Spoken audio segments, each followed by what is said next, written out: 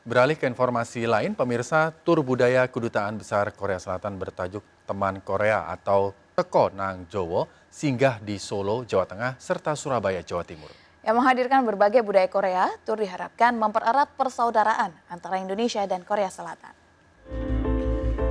Tur budaya Kedutaan Besar Korea Selatan bertajuk Teman Korea atau Teko Nang Jawa singgah di Solo, Jawa Tengah.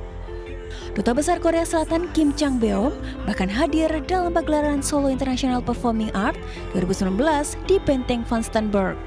Berbagai pagelaran budaya Korea mulai dari tarian dan musik turut ditampilkan. Acara ini juga dihadiri oleh youtuber asal Korea Jang Han Sol. Dubes Korea Selatan juga turut membagikan kuliner khas Korea yang disediakan di booth KCC dan K-Food Truck yang diberikan secara gratis.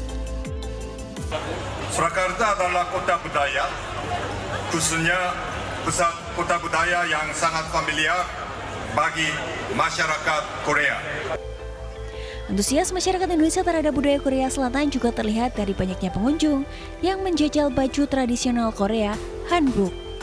Menurut aku menarik banget karena tujuannya kan untuk mengenalkan budaya Korea ya. Jadi kita bisa lebih kenal dan lebih tahu dengan adanya ini.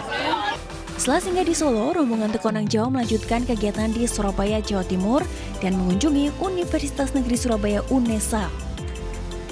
Dalam kunjungannya, rombongan yang dipimpin Duta Besar Kim Chang Beo mengenalkan semua program dan kebudayaan Korea kepada ratusan mahasiswa dan jajaran Rektor UNESA.